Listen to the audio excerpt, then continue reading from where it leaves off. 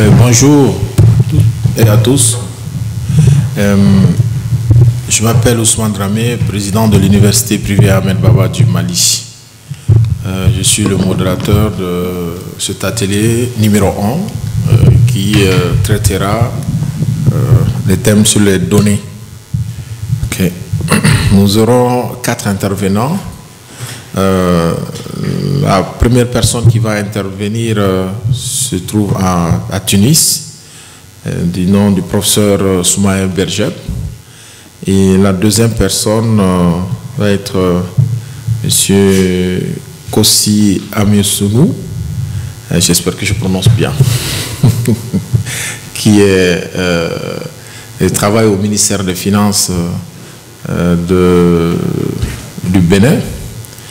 Et ensuite interviendra M. Ofu Élysée Kodjo. Hein? Kadjo, euh, excuse-moi si je mal prononcé les noms. Ok, Kadjo. Il est de l'université euh, Alassane Draman Ouattara de la Côte d'Ivoire. Et enfin, notre quatrième intervenant vient de la Chine, de Beijing, de l'université de Beijing du nom de Liu Bo. Donc, euh, sans plus tarder, euh, je vais quand même demander aux uns et aux autres d'être un peu plus, euh, d'être un peu plus bref. Nous avons accusé beaucoup de retard et nous allons essayer de rattraper ce retard en fait, au cours de cet atelier-là. Alors, nous allons demander à euh, je voulais faire un petit résumé, une présentation euh, de, des données pour euh, que les uns et les autres puissent comprendre mieux, situer le cadre. Mais malheureusement, le temps on nous dit qu'on n'a pas beaucoup de temps. Donc je ferai économie de cela. Peut-être que je le verserai dans mon rapport. merci. avec votre permission, nous allons démarrer cet atelier. Alors, professeur Soumaya Berjab, Vous avez la parole pour votre intervention. Thank you very much. I'm very pleased to be here with you. Actually, my presentation will be in English, so I will share with you my um, presentation in um, PowerPoint uh, format, if, if, it's possible. It's possible. Yeah, please uh, let me uh, let me share it. So. Euh, est-ce que elle dit qu'elle veut faire sa présentation en anglais? Est-ce que ça vous va? Est-ce que et sinon, si vous avez la possibilité de le faire en français, ce serait, ce serait l'idéal. Um, actually, I want to, to do it in English because my article is in English and all the research is in English. Sorry. Ok. Donc, on n'a pas le choix. On n'a pas le choix. Malheureusement, on n'a pas de dispositif de traduction en l'anglais ici. Ben, on va faire avec. Thank you. Um, ok, madame, vous pouvez y aller. Euh, prière de désactiver le partage d'écran, s'il vous plaît.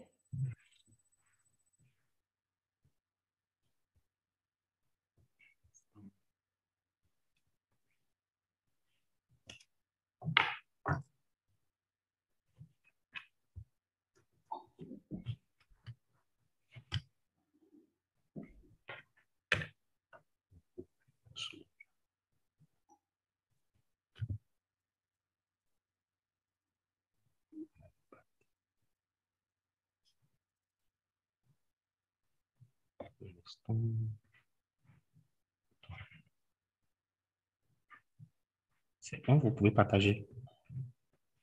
Je ne peux pas partager l'écran car euh, ici il y a une petite notification qui indique que l'animateur a désactivé le partage d'écran pour les participants. Oui, c'est normal. Un instant, je vous donne la main. Merci.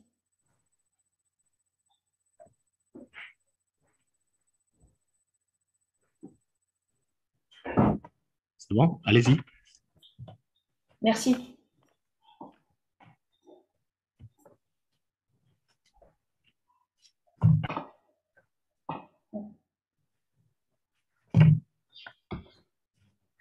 Euh,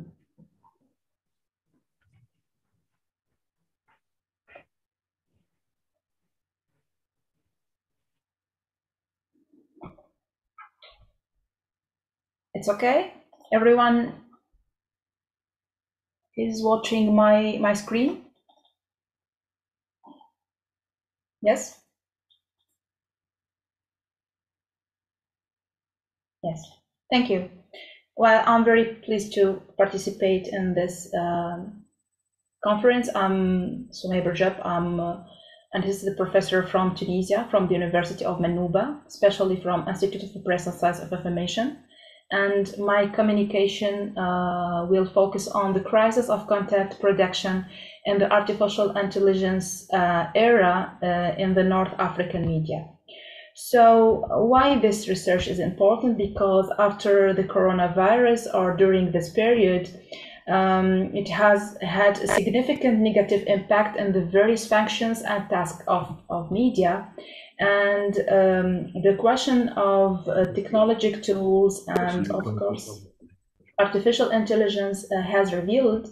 So, um, this last technology has helped journalists around the world, especially in the rich, uh, rich countries and developed country, to produce significant information in order to aid public understanding news easily and reacting about it without difficulties. So um, this uh, technology or this uh, technological tools uh, didn't exist to play the same role in different uh, uh, region in the world, especially in the um, in the poor countries, like for example some region in Africa, or uh, especially uh, when we speak about the Maghreb media foundations, we uh, we noticed a lot of problems in relationship with um, the artificial intelligence tools and how to uh, function this uh, in this uh, media. So even with the tense use of digital platforms in this area, especially in the Maghreb or North Africa, African media, it's still producing news content with an older production styles, uh, as no specific data are presented in their electronic website, none in its audiovisual press. So um, this uh, issue um, led us to highlight the issue of informational fairness to media audiences around the world. So the problematic of my research, which is founded on uses and gratification theory, is what are the difficulties experienced by the media in North Africa in the era of artificial intelligence and which impact has been generated on the quality of its information and on its audience. So here we have corpus and methodology of the research. This study is based on analytical and comparative, comparative approach. And it's generated from a double survey results. Uh, the first was addressed to journalists from Tunisia, Algeria, and Egypt, working for a North African media in order to collect the results in relation to the difficulties uh, in this uh, media uh, in relationship with the artificial intelligence tools. And this is uh, my corpus, which is um, uh, in different uh, categories and uh, different uh, profile, like journalist, um, technical, technical person, um, trainees, communicator, and so on. Well, the second survey was addressed to Tunisian, Algerian, and Egyptian internet users in order to reveal the, the question of informational equity in relation with the quality of news broadcast by the local media in comparison with the international media contents. So um, the results of this research is um, conducted or revealed from two parts. The first is uh, about the online surveys and 10 uh, interviews with different uh, profile of journalists uh, from Tunisia, uh, Algeria, and Egypt and you can here uh, see that 9% or around 10% of respondents were from various profiles like technician, trainees, communicator working for media establishment in order to know the difficulties of technical uh, part in, um, in, the, uh, in the media uh, climate. Well, the table, the table number two can uh, lead us to know a little bit about the corpus, uh, which journalists from which uh, sector. Here we can see that Tunisia have 34% of the journalists working for the private sector, and um, Algeria 11% in the public sector, and Egypt 17% uh, uh, working for the private sector too. So here another overview of our um, our interviews uh, profile.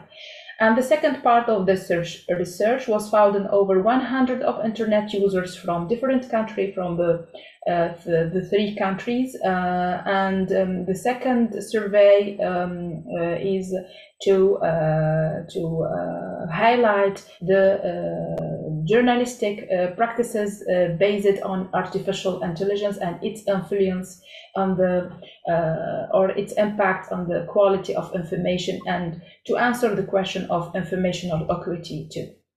So it's very important here to ask journalists and interviews at the, at the same time about the definition of artificial intelligence, how they perceive the artificial intelligence. So, so here we can find that 58% of journalists in, Tunis, journalists in Tunisia, Algeria, and Egypt has defined artificial intelligence as machine that mine information and data and extract them very quickly.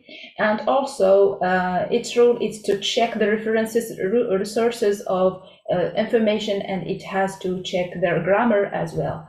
And 31% um, said that uh, these machines or this artificial intelligence application are able to analyze data swiftly, use it, extract it, accurate results from it. And uh, around 7% um, qualified uh, the artificial intelligence as engine capable of providing automatic recommendation for TV programs based on users' viewing habits. So do North African media organizations rely on artificial intelligence techniques? Uh, so in general, we can find that um, the majority of uh, uh, media establishment not rely a lot on modern methods uh, of extracting data and presenting them to the public in the North African uh, media, especially here some examples like the Tunisian National TV and Radio, the Algerian Ashuluk TV channel, the Egyptian Middle East Agency, Al Masri Al Yawm e newspaper, and so on. And here we can um, extract another uh, another uh, result that 71% of journalists perceive that their organization do not uh, adapt artificial intelligence techniques, and 22 2.6% said that their establishment or their media organization partially rely on artificial intelligence techniques in producing media content.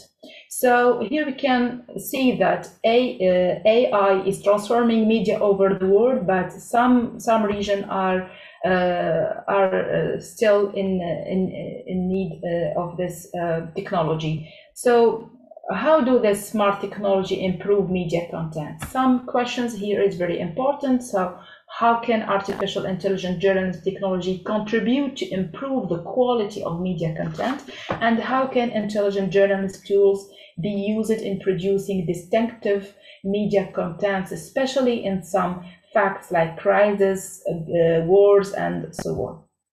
So we asked journalists about um, do the smart technology adapted by uh, media organization play a role in improving the quality of media uh, content these last years? 54% uh, have answered no, 32 said somewhat, and 12 or 13% uh, have responded uh, yes.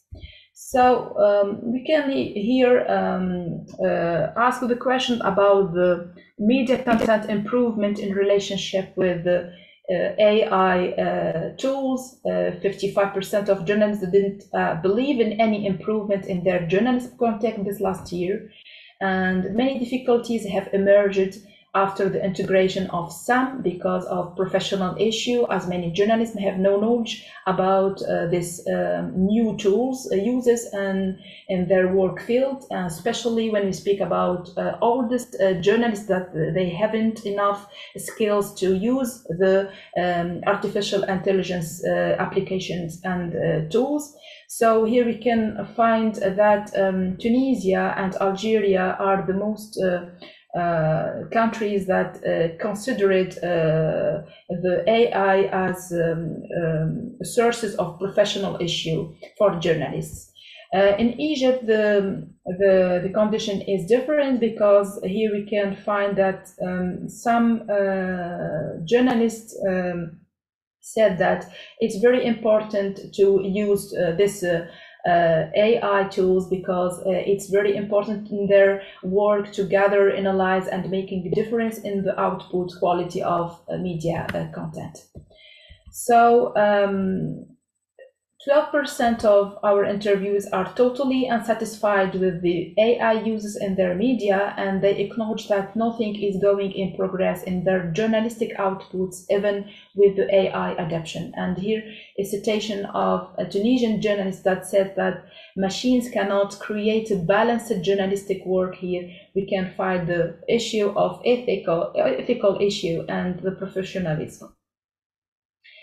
Uh, we highlight also the perceptions of North African media competitiveness in the uh, AI area, especially in comparison with uh, the some uh, Arab uh, Arabic um, media organizations, especially in the Gulf, and we uh, find here that 65% uh, uh, of journalists didn't um, make a correlation or a relationship between the quality of content and the uses of the AI in their countries. And in comparison between North African media and Western media during the Corona outbreak in the era, in the era we can say that according to our survey, 48% of respondents have answered that Western media were more efficient in the corona outbreak due to their high, uh, highly uses of uh, artificial intelligence. And they qualified that uh, Western media has uh, skilled journalists that have high technical level and enough knowledge in communication crisis, uh, more than journalists in, in different region in the world, and especially in the North African region.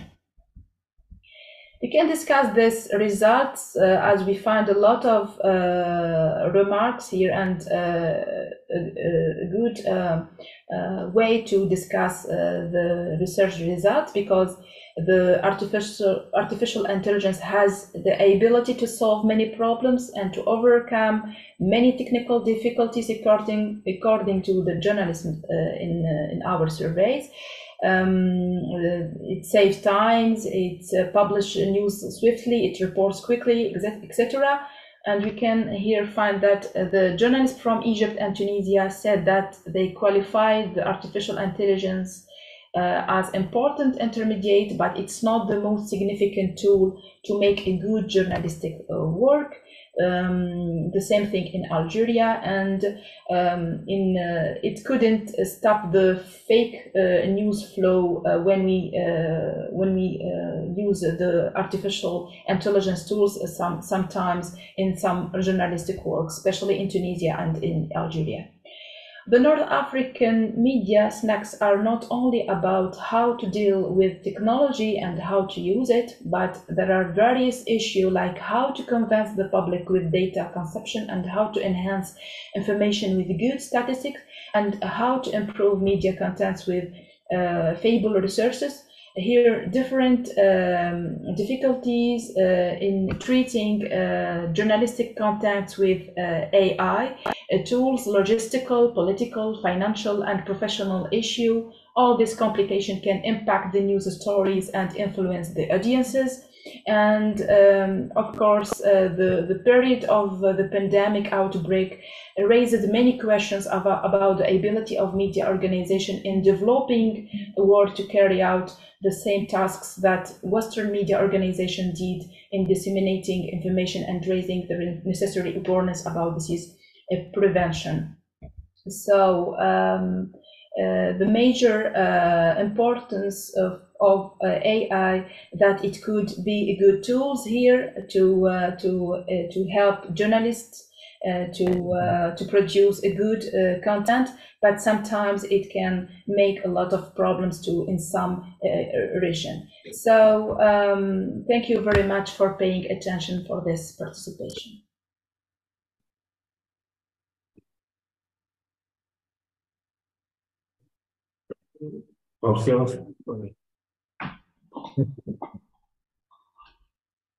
Ok, euh, professeur Soya, merci pour votre intervention. Et, euh, je voudrais vous demander si vous pouvez faire un petit résumé en, en, en français. Pour les gens comprennent. Juste un petit résumé, après je... Okay. D'accord. Donc, euh, euh, ma recherche est intitulée La crise des, des, des produits journalistiques euh, à l'ère de l'intelligence artificielle dans les, dans les, les pays de, de, de, de l'Afrique du Nord. Euh, cette recherche est basée sur la, la théorie euh, de, gratification, de gratification. Et voilà.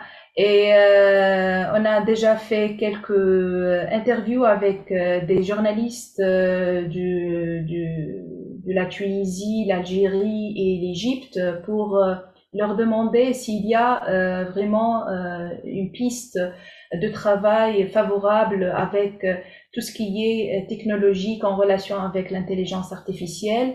Et est-ce que cette utilisation euh, des, des, des, technologies, des nouvelles technologies dans leur euh, environnement médiatique peuvent aussi euh, améliorer la qualité des, des produits journalistiques. Alors, j'ai eu plusieurs résultats sur le plan technique, professionnel et éthique. Il y a plusieurs problèmes dans différentes euh, régions, euh, surtout dans différents médias, surtout lorsqu'on parle euh, de, la qualité de, de produits journalistiques. on a besoin des, des, des formations bien définies pour aider les journalistes à bien, bien utiliser les applications, les, les, les, les, outils de, de cette technologie en relation avec l'intelligence artificielle Surtout, il y a des problèmes financiers, financiers des problèmes euh, professionnels et éthiques dans l'environnement médiatique euh, euh, maghrébin et aussi de l'Afrique du Nord. Il y a aussi quelques, quelques résultats qui indiquent que les journalistes ne sont pas très habitués avec l'intelligence artificielle, donc ils ont besoin euh, de l'aide, de l'accompagnement euh, pour euh, comprendre ces outils et pour les utiliser convenablement. il y a presque 55% des journalistes qui qualifient leurs leur produits journalistiques lors de, de, de, cette dernière cette dernière période euh, qu'il n'y a pas un progrès euh, remarquable sur le plan euh, professionnel. Donc, ils ont besoin de, de, travailler encore et encore sur les côtés techniques, les côtés professionnels et les côtés éthiques en relation avec l'intelligence artificielle. Même il y a des, des, journalistes qui ont dit que les machines ne, ne créent pas euh, un contenu médiatique euh, euh, équilibré. Donc euh, ici, il y a le, le, problème de est-ce que est-ce qu'on a besoin vraiment d'un progrès technologique pour avoir un contenu médiatique équilibré, professionnel et qui répond aux besoins des, des publics, quel que soit le cas, un public tunisien, algérien ou égyptien ou euh, n'importe quel public qui, est, euh, euh, qui, qui suit les différentes productions audiovisuelles et, électroniques sur les, les médias de, de, de l'Afrique du Nord.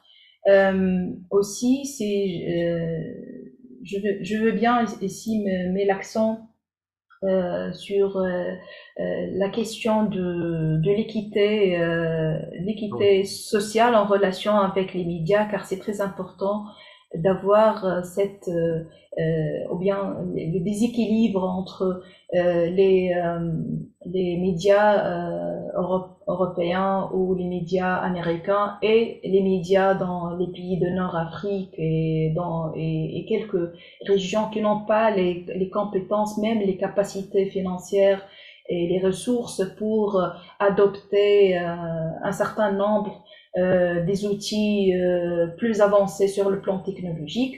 Et cela, bien sûr, nous amène vers une question clé, c'est que on a besoin vraiment d'avoir l'équité internationale au niveau de réception des, des contenus médiatiques.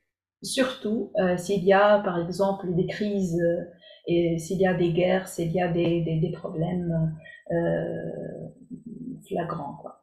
Merci. D'accord, merci Soumaya. Mais est-ce que vous pouvez revenir sur euh, euh les pourcentages d'intervention au niveau euh, de l'Égypte, euh, de la Tunisie et de l'Algérie?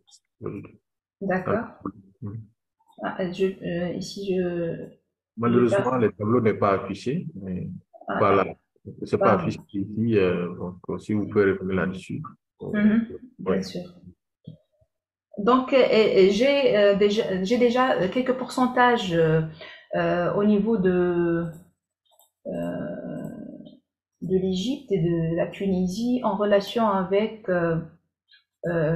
avec la question suivante. Est-ce que les, est-ce que les, les, les technologies vraiment ont ont participé à promouvoir la qualité des, des, des, contenus médiatiques euh, cette période. Donc euh, la période. Euh, donc ici, je trouve par exemple que que 55 des, des, journalistes en, global qui ont déjà affirmé que qu'il y a plusieurs difficultés, mais en Tunisie et en Algérie surtout, il y a presque 32% qui ont euh, qui ont affirmé, ou bien qui confirment qu'il y a des problèmes, surtout euh, au niveau professionnel et au niveau technologique euh, dans les dans les dans l'espace médiatique, parce qu'il y a des, des, des, journalistes qui qui n'ont pas n'ont pas la capacité de suivre le progrès technologique car ils, ont déjà des habitudes, bien des coutumes quoi euh, dans leur environnement euh, médiatique et qui qui veulent pas euh, les changer. Il, y a vraiment euh, de résistance au changement. C'est pour cela il y a des problèmes énormes au niveau des médias maghrébins.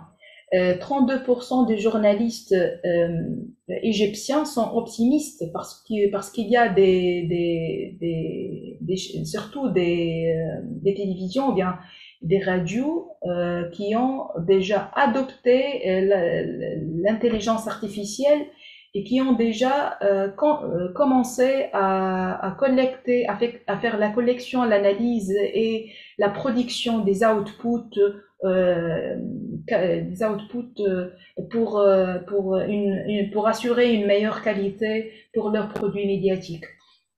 Et aussi, presque 12% des journalistes en, global qui, ont, qui sont, comment dirais-je, unsatisfied, qui, qui, qui n'ont pas vraiment satisfait euh, parce qu'il y a euh, parce qu'il parce qu'il constate qu'il n'y a pas une relation euh, étroite quoi entre la technologie et, tout ce qui est éthique au niveau de, de la production médiatique. C'est-à-dire euh, quand, quand, quand on dit que les machines ou bien les applications ou bien la technologie euh, ne peut pas créer un contenu médiatique équilibré, c'est-à-dire qui, qui, que ici l'intervention humaine, c'est très important au niveau médiatique et c'est très important au niveau journalistique.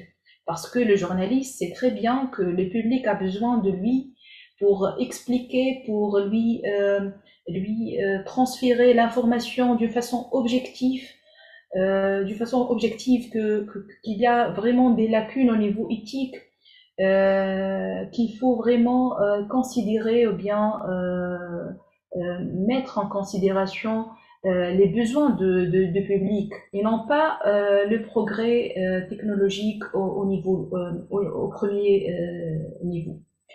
Donc il y a ici des va et des viens au niveau de tout ce qui est professionnel, tout ce qui est technologique et tout ce qui est éthique. Donc il y a une équation au milieu.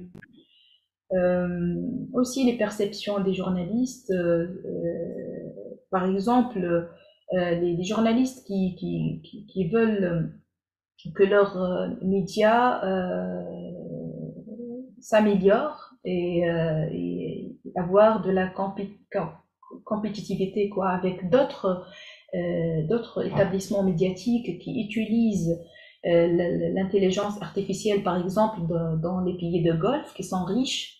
Euh, ici, par exemple, on trouve que 17% du, du, journalistes tunisiens euh, et 22% des Algériens et 25% des, des Égyptiens euh, ont confirmé euh, que, euh, que, que l'intelligence artificielle n'a pas, euh, n'a pas de fondement vraiment très solide pour créer un contenu médiatique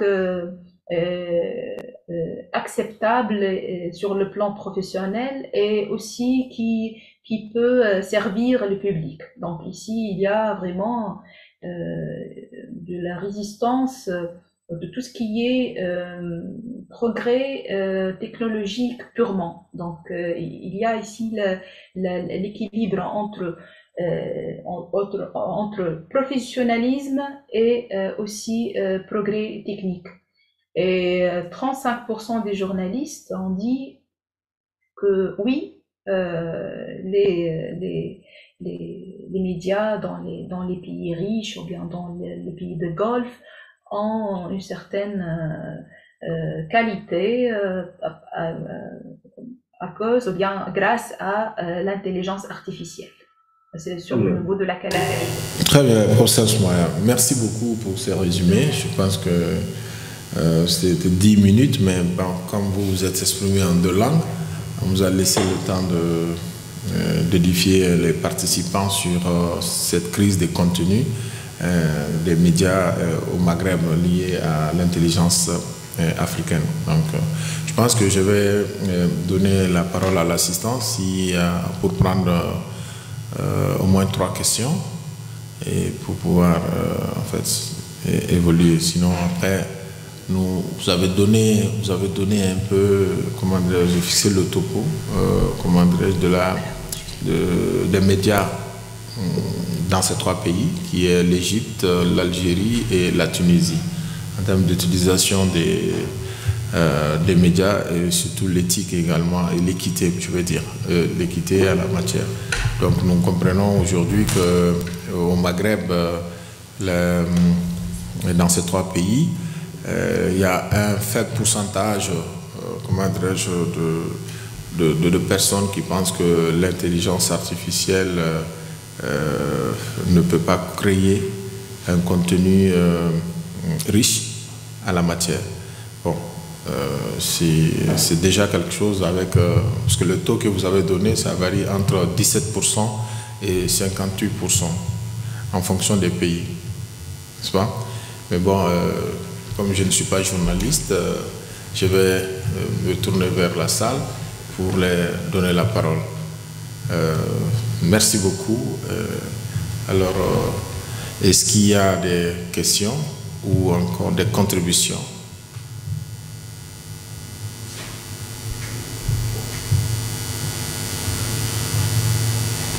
Il n'y en a pas.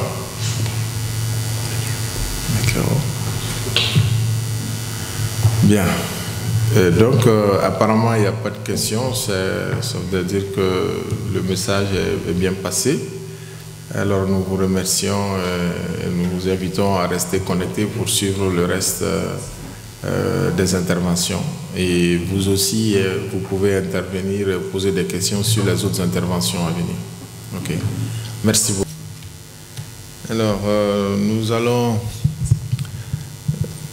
demander à Monsieur Kossi Amirsou du ministère des Finances euh, de la République du, Bénin pour son intervention. Voilà, c'est bon. C'est bon. Merci beaucoup, professeur. J'ai le plaisir d'échanger avec vous autour du thème gouvernance des données numériques et recouvrement des tasses foncières dans la commune d'Abomey-Calavi au Bénin. Il faut dire qu'Abomey-Calavi, c'est une commune à statut particulier. C'est une commune à statut particulier.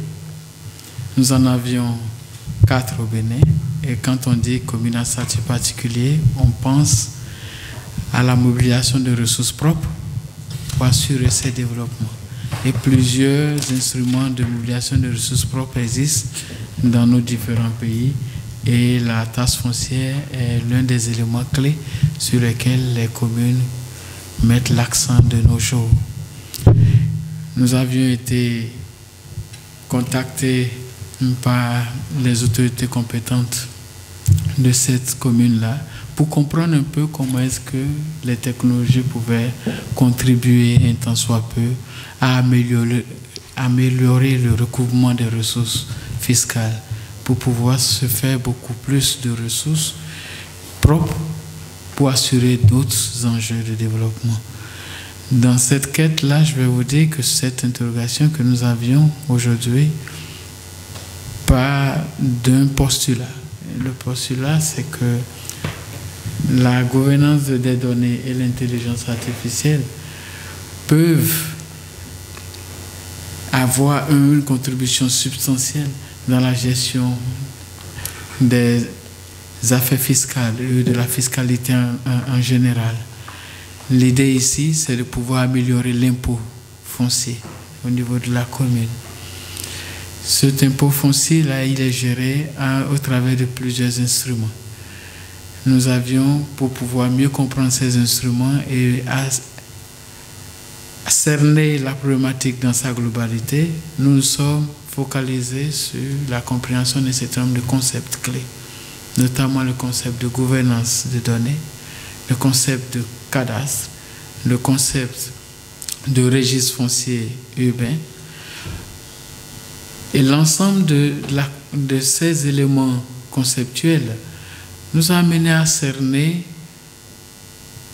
que globalement, la technologie est perçue par l'ensemble des chercheurs au niveau de la littérature comme étant un outil qui potentiellement peut éliminer les tâches répétitives au niveau des professionnels, notamment les professionnels du monde de la fiscalité, pour leur permettre de se concentrer sur ce qui apporte de la valeur ajoutée. Cette approche, cette lecture de l'apport des technologies à la dimension transformationnelle des structures et des organisations qui, à première vue, peut être considéré comme étant large pour les, tous les corps de métier. Pour le corps de métier de la fiscalité, c'est un peu très sensible et on a besoin d'aller en détail sur ce qu'est la donnée elle-même, comment est-ce qu'elle est gouvernée, pour que dans sa gouvernance, on puisse profiter du potentiel technologique pour collecter effectivement l'information nécessaire à la collecte de la fiscalité locale. Retenons que la notion de fiscalité appelle collecte de ressources au niveau sectoriel, au niveau local, communal ou municipal. Nous avions interrogé un certain nombre de travaux et il y a notamment la Data, Tech, la Data Governance Institute, qui est une structure américaine spécialisée sur les questions de gouvernance de données, qui estime que le système de responsabilité et les droits de décision sont des éléments qui sont inhérents au processus même de collecte et de manipulation de la donnée. On voudrait, partant de leur postulat, de leur lecture sur la question de la donnée, nous demander si le numérique en soi, en tant qu'outil, en le mettant en lien avec la, problématique des secteurs, notamment le secteur, financier, le secteur financier, le secteur de la fiscalité, est-ce que on ne parvient pas à actionner des comportements qui peuvent être aujourd'hui perçus comme des mécanismes de catalysation. Nous avions vu que la donnée en tant que donnée numérique, qui est immatérielle, quand elle vient à être vue comme un catalyseur de processus, met en confiance les acteurs. Et cette mise en confiance des acteurs permet aussi de gérer les mécanismes de collaboration, permet de gérer le type de travail, permet de gérer les relations autour des enjeux de confiance et de mutualisation. Ici, l'enjeu, ici, pour nous, c'est deux éléments. Le premier, c'est le cadastre, et celui-ci, en même temps, c'est le registre, le registre foncier urbain. On aura tendance à croire que les deux veulent dire exactement la même chose. Pas tout à fait. Quand on est dans l'environnement du cadastre, on pense à la responsabilité publique. C'est un registre public qui permet d'avoir un zoom sur la propriété foncière.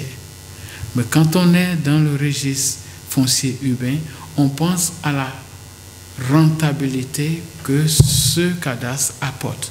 Donc la possibilité qu'on puisse en tirer de la ressource de l'impôt foncier. Nous sommes dans un, dans un dilemme de, compréhension sémantique qui nous a amené à un moment donné de demander s'il était utile ou non d'utiliser les deux concepts à la fois. En interrogeant la littérature et en regardant les travaux de certains chercheurs comme Soto, nous sommes convaincus que il est indispensable dans la posture de ce travail-là de pouvoir repérer le cadastre en tant qu'outil de décision et le registre foncier urbain en tant qu'outil de collecte de données. Voilà un peu la, la posture dans laquelle on s'est retrouvé en interrogeant la littérature. Et nous avons fait recours à plusieurs autres travaux qui font référence soit à l'intelligence artificielle dans sa globalité en tant qu'outil d'apport aujourd'hui aux autres sciences. Nous avions aussi interrogé des données qui recouraient à la gouvernance du numérique spécifiquement orientée sur le cadastre et nous avions aussi vu les insuffisances qui existent dans l'approche du recouvrement fiscal dans les différents pays et communautés que nous avions.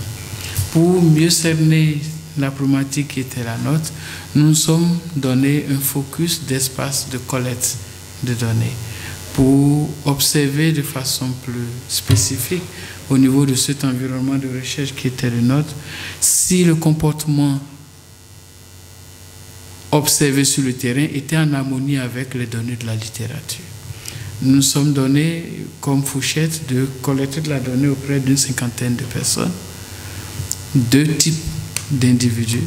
Dans un premier temps, des acteurs qui sont focalisés sur la fonction de service domanial et la fonction de collecte de l'impôt, et également ceux qui sont individus lambda, mais propriétaires de biens immobiliers. Bien immeuble, pourquoi? Si la personne n'a pas une terre, elle n'est pas techniquement concernée par le, travail que nous menons et l'information qu'on pourrait collecter d'elle biaiserait la donnée que nous produirons. Nous nous sommes fait le devoir de ne de n'identifier que les personnes qui avaient des biens immeubles en lien avec ceux qui travaillent sur cette thématique-là en termes de collecte ou en termes de travail domanial, ceux qui attribuent les numéros, qui ont des données spécifiques, mais données confidentielles appartenant au foncier communal.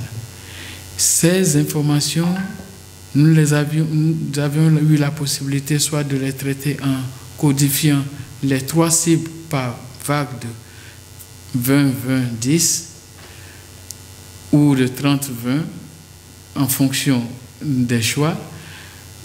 Après avoir fait une simulation avec des amis, une pré-évaluation de nos données, nous avons trouvé que la première collecte que nous avons faite n'était pas très utile. Il était plutôt de notre responsabilité de faire plutôt une collecte vraiment aléatoire, en, en, mappant les deux grappes à la fois, aussi bien le grappe de ceux qui sont dans le service domanial, ceux qui sont dans le recouvrement et ceux qui étaient propriétaires de biens immeubles. Ce qui nous a permis d'avoir un certain nombre de données, mais avant de les avoir, nous sommes focalisés sur les types d'informations qu'il était utile de, de collecter, d'observer, de visualiser. Nous avions eu la possibilité d'ouvrir la donne sur tous les champs, mais nous avions fermé cette collecte sur ce qui pouvait les intéresser et qui pouvait nous permettre en 2, 3, 4 séries d'informations obtenir des données qui nous permettent de faire de l'analyse croisée. Nous avions pu observer au niveau de notre environnement qu'il était utile de regarder les variables comme le bien immeuble, donc la propriété ou non de ce bien. Quand il était non, cette personne a été éliminée d'office de notre échantillon de collecte.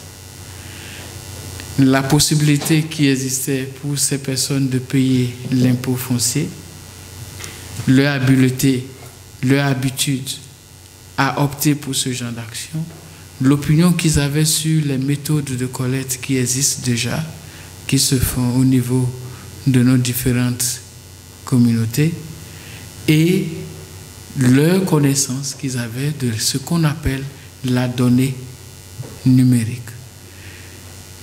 Dans ce sens que, ici, il s'agit d'une donnée hypersensible. Une donnée à caractère personnel est aussi une donnée numérique.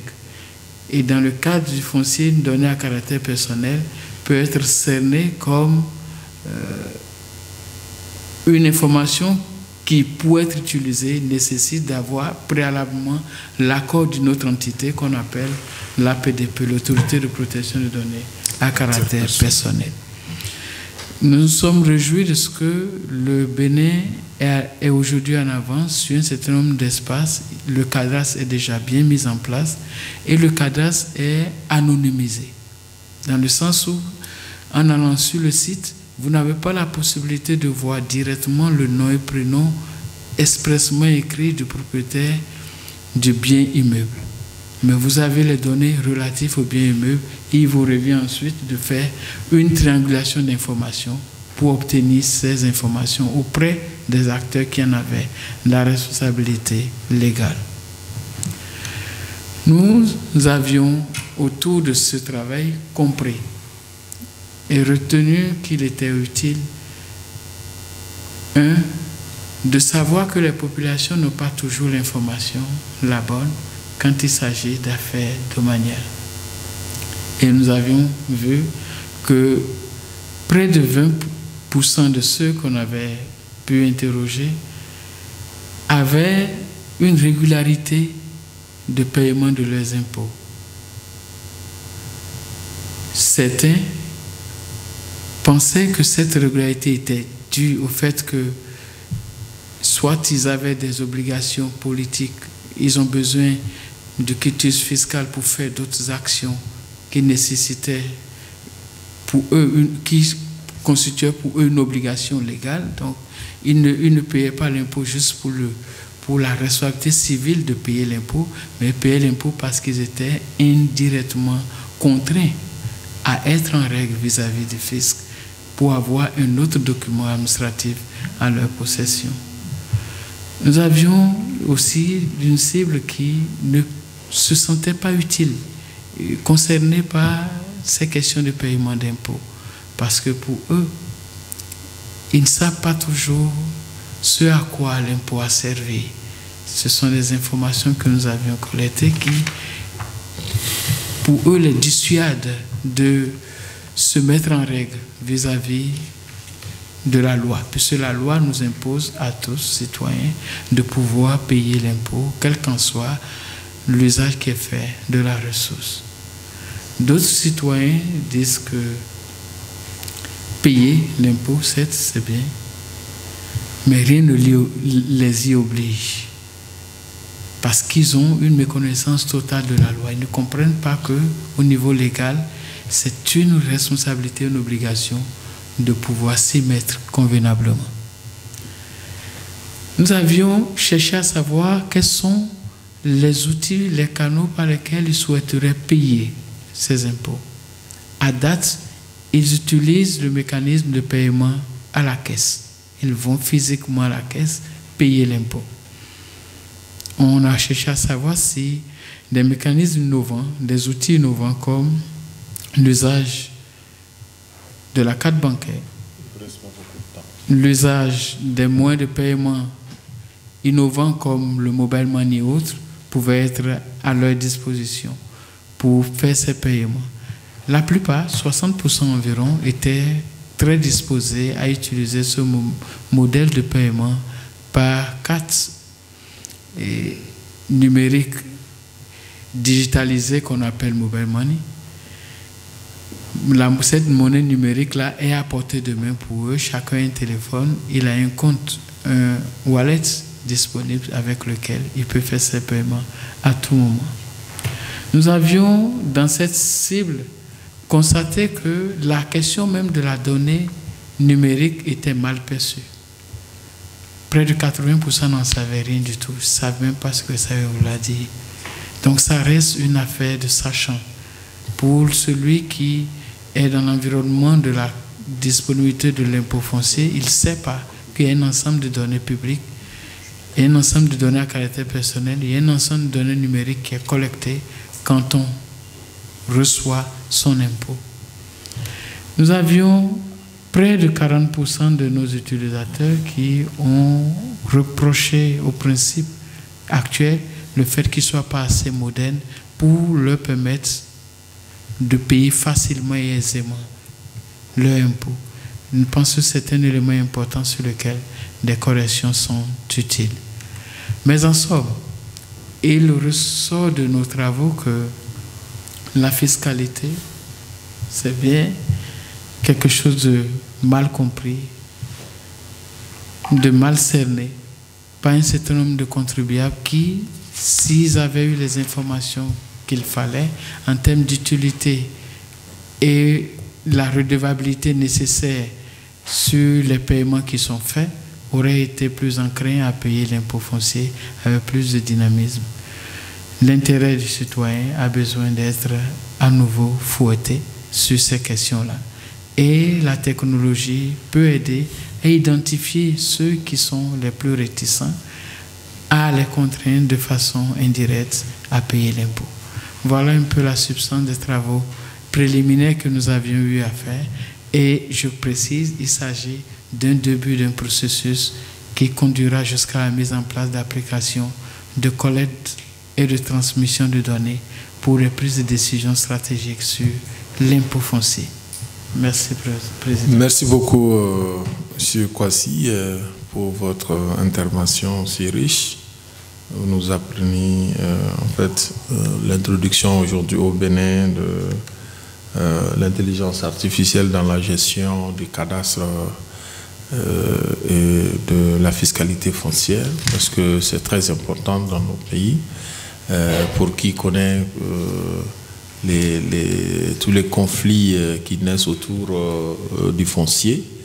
Eh si par le biais de l'intelligence artificielle, arriver à trouver des solutions pérennes pour euh, euh, non seulement euh, sécuriser ses biens immobiliers, mais aussi tout en gardant l'anonymat des propriétaires de ces biens immobiliers. Je crois que c'est un très grand pas à saluer et à encourager. Donc nous vous félicitons, nous vous encourageons à continuer sur ce temps et certainement ça sera un exemple qui va, être, qui va faire tâche d'huile dans nos régions. Parce que je sais que beaucoup de nos pays, euh, le Mali, la Côte d'Ivoire, euh, le Bénin, le Togo, le Niger, nous connaissons aujourd'hui euh, beaucoup, beaucoup de conflits. récemment, une étude qui a manqué plus de 80% des problèmes au niveau de la justice sont liés aux problèmes fonciers. Donc je pense que c'est vraiment un outil important pour nous qui va nous permettre de réduire considérablement ces conflits, voilà, pour euh, comment renforcer la cohésion sociale dans nos pays. Je vous remercie et je voudrais retourner vers vous les participants et vous demander d'abord d'applaudir.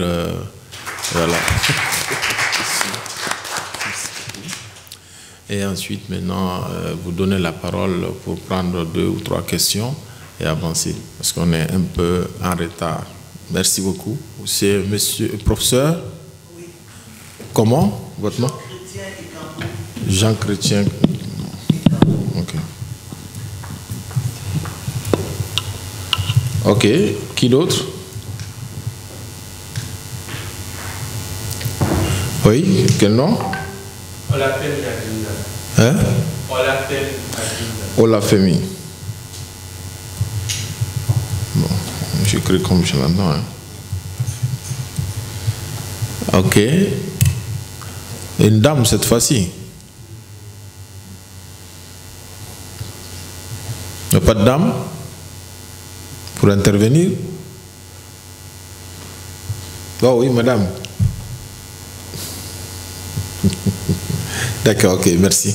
Euh, donc, euh, donner la parole au professeur Jean, euh, Jean Chrétien pour son intervention, sa question. Merci beaucoup, euh, monsieur le modérateur. Je suis très intéressé par euh, ce sujet. D'abord, en tant qu'Africain, vous savez, les problèmes de développement des villes dans le continent euh, devenu vraiment crucial et la plupart des villes n'ont pas de plan d'urbanisation ni de développement des centres urbains.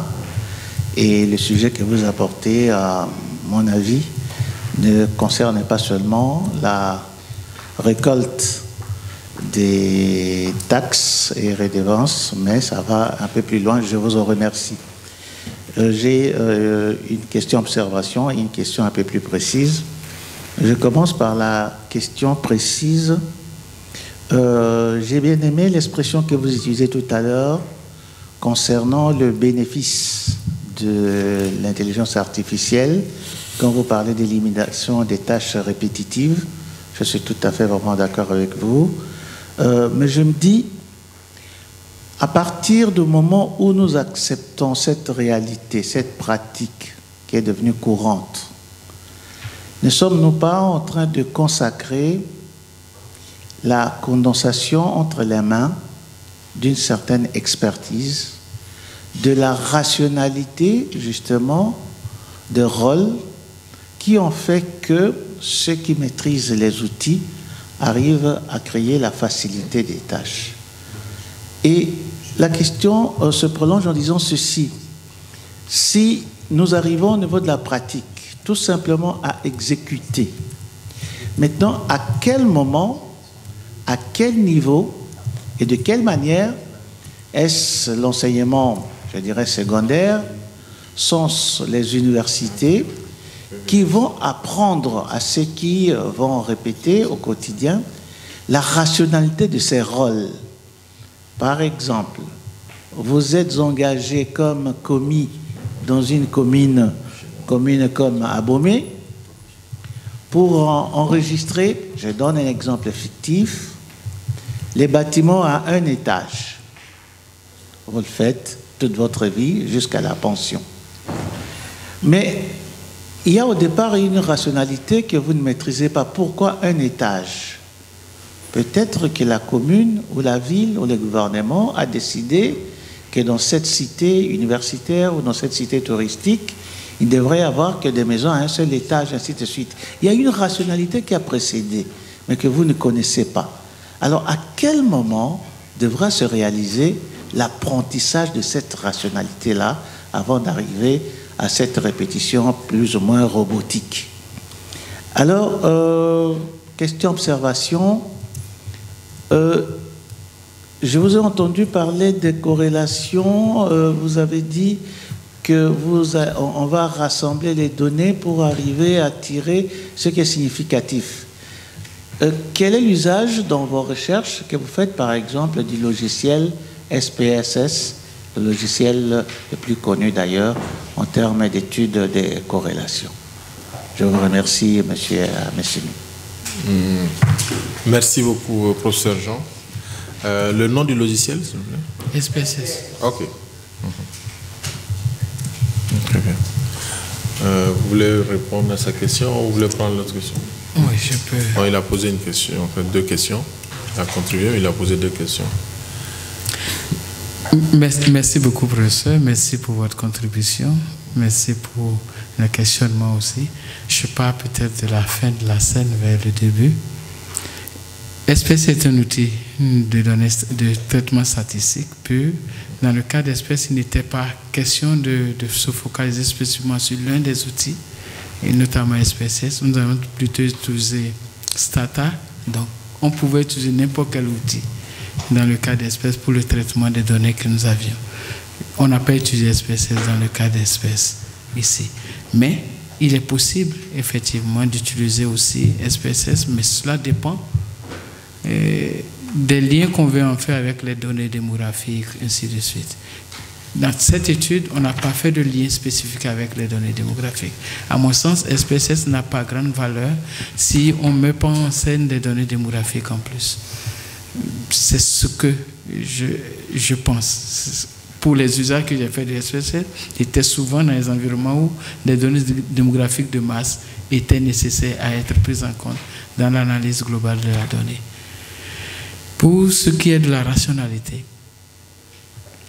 c'est un exercice auquel on doit tous se préparer. Il n'y a pas d'école où on doit, préparer, on, doit avoir euh, ouais, les, les manières de la rationalité pour dire c'est ici, c'est ici qu'on les a formés, c'est ici qu'on les a bâtis pour qu'ils soient plus utiles ou non à la société de demain. Tout ce qui est process de décision qui relève du pouvoir public ou de la décision de l'administrateur qui est l'État, il manipule ou il conditionne les postures des chercheurs après. Si l'État décide que dans une zone donnée, je sais qu'en Côte d'Ivoire, il y a ce principe-là, que dans certaines zones de la ville, on ne veut avoir que des maisons de tel type. Donc vous avez l'impression que les maisons se ressemblent ou les maisons appartiennent à la même personne. Parce que l'État local en a décidé ainsi. Maintenant, est-ce que ce travail, cette décision implique un travail répétitif Est-ce que ça suppose un travail répétitif? À mon sens, je ne le lis pas comme ça.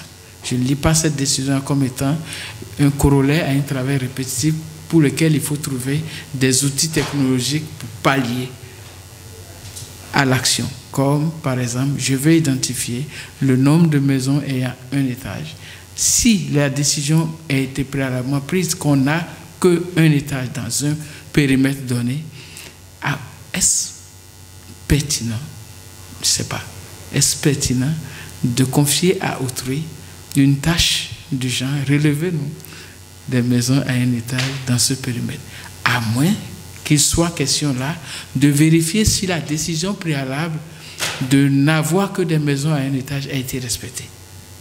Auquel cas, c'est vrai, on peut faire un sondage ou on peut faire une collecte systématique, un relevé systématique. Mais aujourd'hui, il y a des outils qui font ça mieux que l'homme. Il suffit de faire passer un drone dans la zone. On peut faire le repérage de toutes les maisons qui sont à un étage et avec un algorithme spécifique, ressorti dans le périmètre tous les espaces qui ont ou non respecté la décision qui a été prise. Le drone fait ça avec beaucoup de facilité que l'homme. Merci, merci beaucoup euh, pour euh, ces réponses. Euh, nous allons donner la parole à votre voisin. Voilà, ok. Donc, bonjour. Moi, je suis étudiant en design digital à l'école de design Nord-Atlantique et j'ai été très intéressé par la conclusion et les deux constats. Celui où le contribuable n'a pas envie de payer son impôt parce que il n'a pas les notions de transparence budgétaire ou il n'a pas accès euh, aux informations de transparence budgétaire et les, le besoin de susciter euh, de nouveaux moyens pour informer et intéresser le contribuable à contribuer.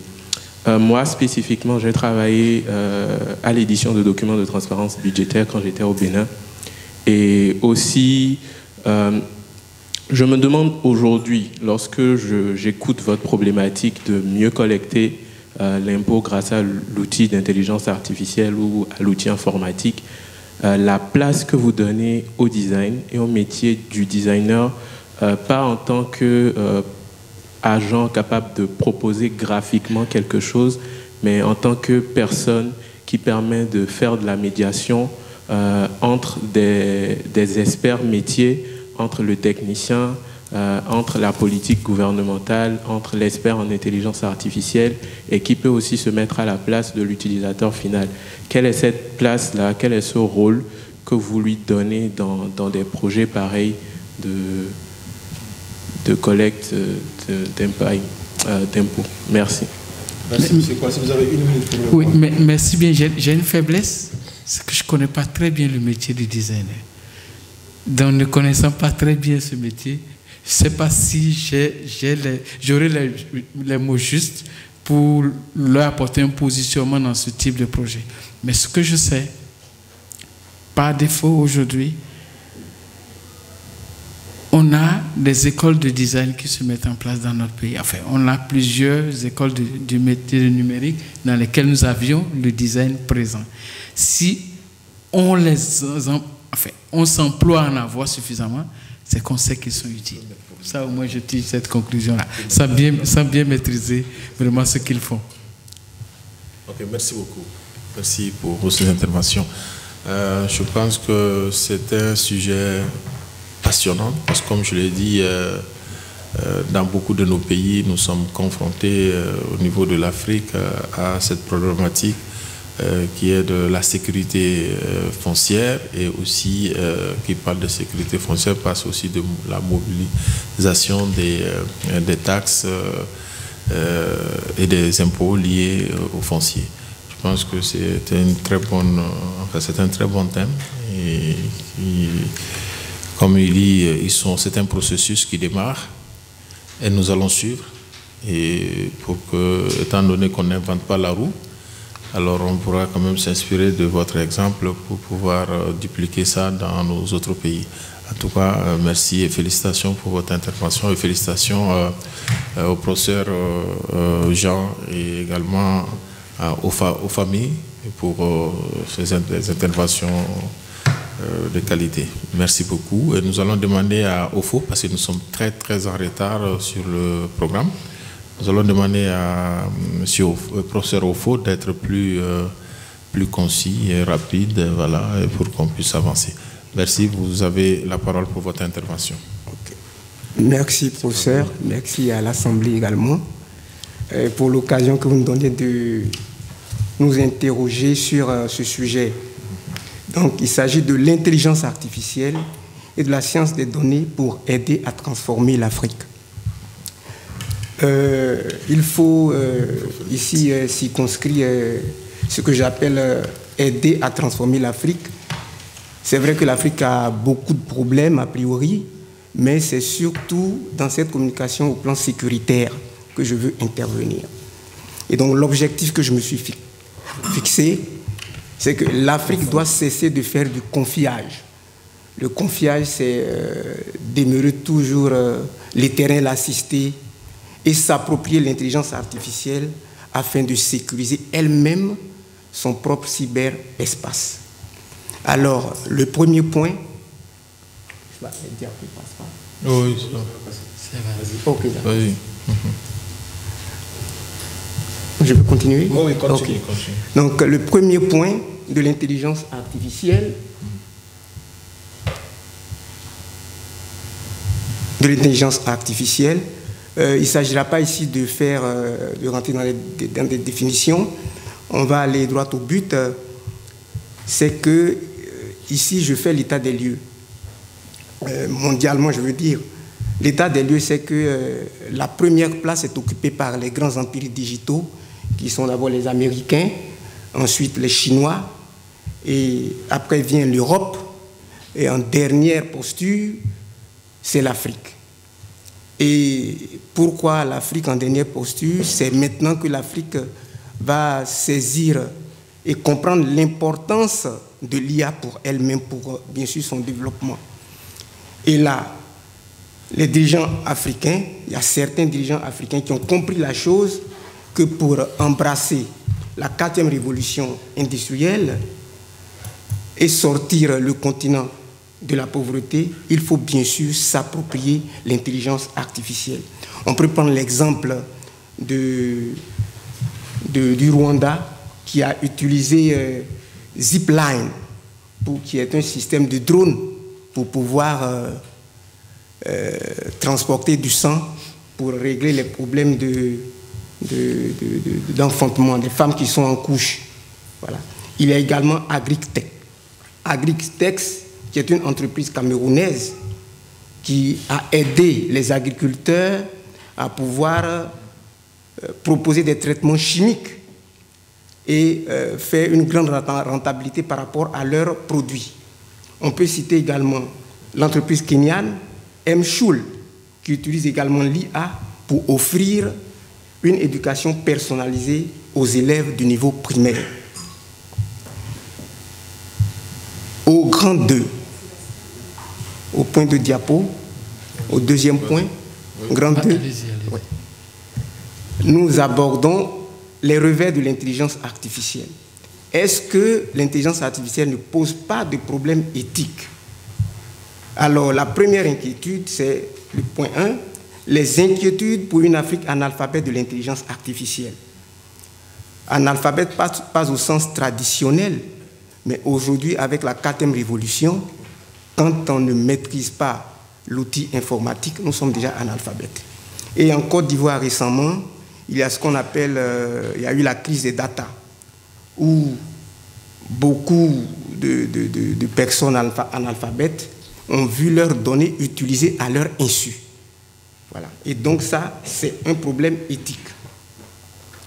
Aussi, il y a autre chose qui est qu'on ne maîtrise pas les algorithmes, les algorithmes d'apprentissage, et c'est destiné à, c'est une propriété exclusive des empires digitaux.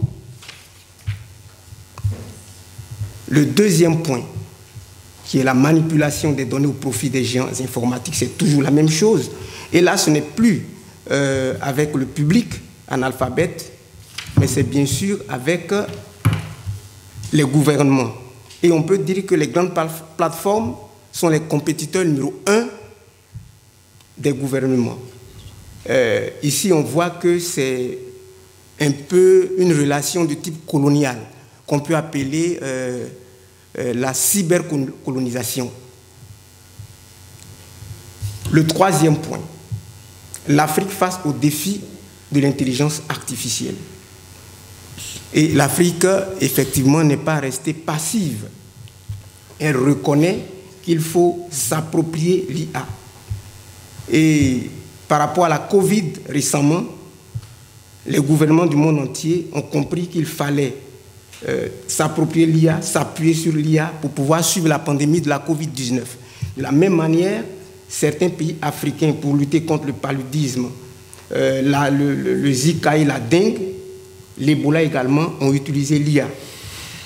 Au niveau économique et social, on voit que l'IA est utilisée avec les téléphones mobiles pour euh, faire des transactions financières et on n'est plus obligé d'aller vraiment en banque et donc ça, ça aide les populations défavorisées. Le quatrième point que nous interrogeons, on se demande, c'est l'équité sociale en question, est-ce que vraiment l'intelligence artificielle est fiable pour tous? Est-ce qu'elle est fiable pour tous, l'intelligence artificielle?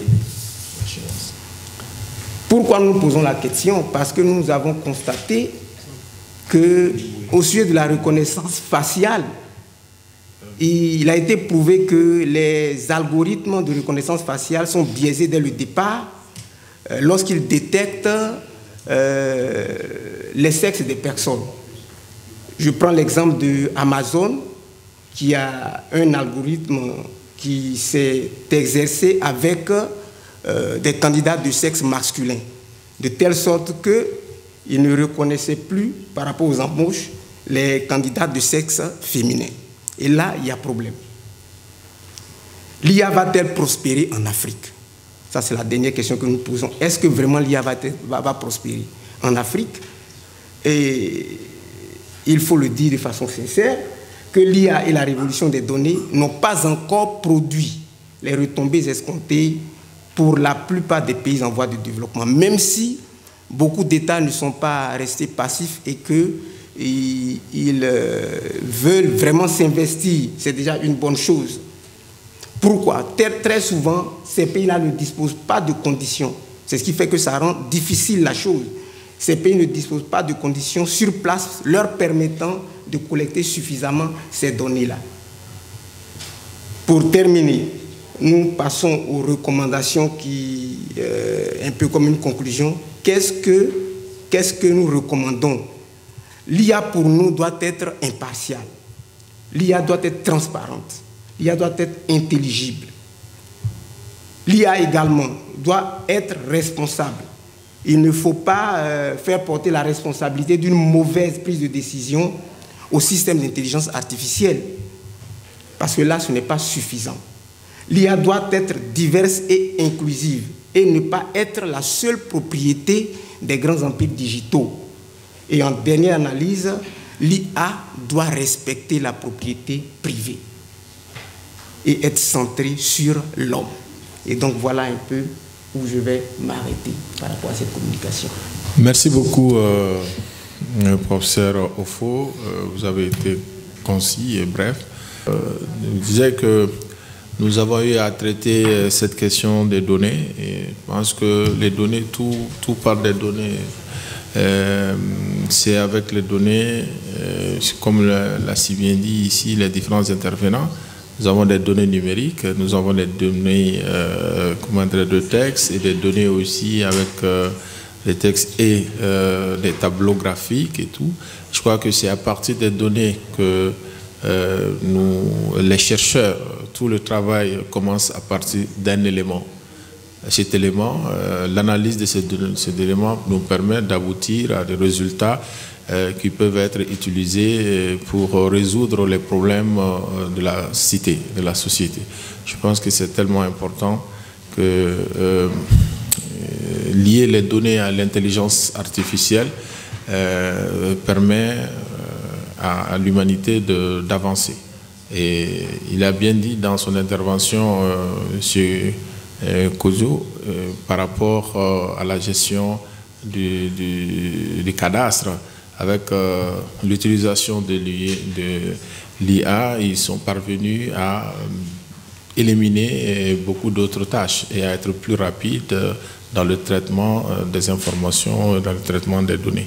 Je pense que c'est important euh, pour nous. Mais il faut reconnaître qu'en Afrique, nous avons quand même euh, euh, beaucoup de, problèmes pour, l'introduction de l'intelligence artificielle dans notre espace compte tenu de, faible en fait du taux d'informatisation de nos pays, compte tenu du taux, en fait, du niveau d'infrastructure, d'un certain nombre de choses. Et je pense que petit à petit, nous nous approchons avec de tels ateliers, de tels colloques, euh, nous arriverons toujours à, comment à réduire euh, la fracture numérique, à réduire entre euh, comment les pays africains et le reste du monde. je vous remercie pour votre attention et la séance est levée. Merci. Merci.